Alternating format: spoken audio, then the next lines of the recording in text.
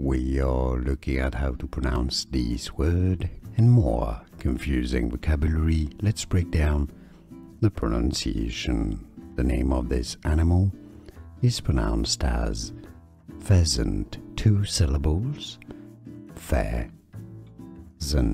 Both British and American English pronunciations are similar. Stress on the first syllable, pheasant. We are looking at how to pronounce this word and more confusing vocabulary. Let's break down the pronunciation. The name of this animal is pronounced as pheasant, two syllables, pheasant. Both British and American English pronunciations are similar. Stress on the first syllable, pheasant.